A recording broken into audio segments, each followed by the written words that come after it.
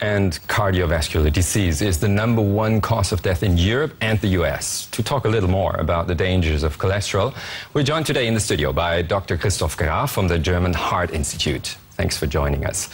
How come Thank the you. good and the bad cholesterol can actually get out of balance? What's going wrong?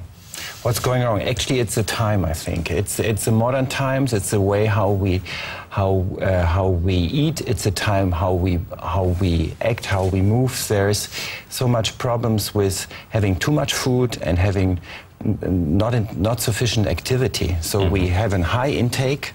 But we don't use the calories up, and that is one reason. The other reason is the stuff we're eating. Mm. So it's the fatty stuff, but it's also the carbohydrates.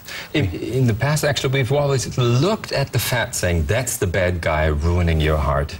You don't believe in that anymore? No, no, it's true. It's definitely true. But the other reason is we know, know now from very good studies that also carbohydrate, high carbohydrate, carbohydrate intake is is a reason for increased lipid levels. Okay. So we need both. We have to reduce fats, we have to reduce carbohydrates, and we have to be more active. But that means a diet with less pasta would be good for us.